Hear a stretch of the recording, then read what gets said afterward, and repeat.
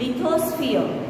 As i told you lithosphere means all the solid substance right which is made up of rocks okay stones rocks etc now these are the key points of lithosphere. First solid part on which we live. Lithosphere means all the solid part right? We live in a solid structure right? So all the solid part on which we live is lithosphere.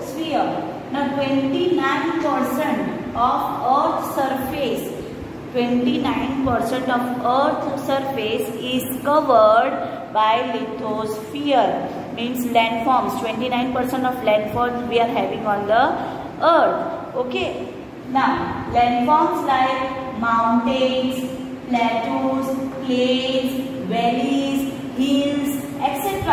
are made up of rocks, right? And that are solid substance. All these landforms are solid, sub, uh, solid substance, right?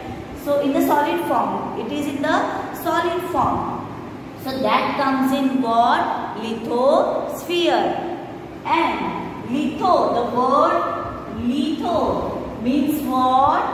Rock. Litho means what? Rock and sphere means layers. Sphere means different different layers of the earth. Magma are the rocks.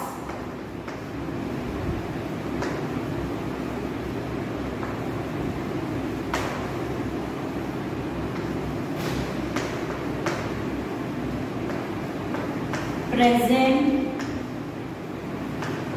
in the interior of the earth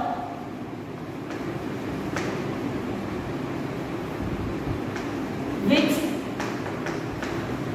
are molten. Now what is molten? It means hot fluid in the interior of the earth also many rocks are present right? Many uh, uh, liquid is also present gas is also present in the interior of the earth. In the same way molten are the kind of rocks which are present in the interior of the earth and which is in the molten uh, ways right? Molten means semi fluid means kind of because of the lot of hot and pressure it started melted right? That melted stone is known as magma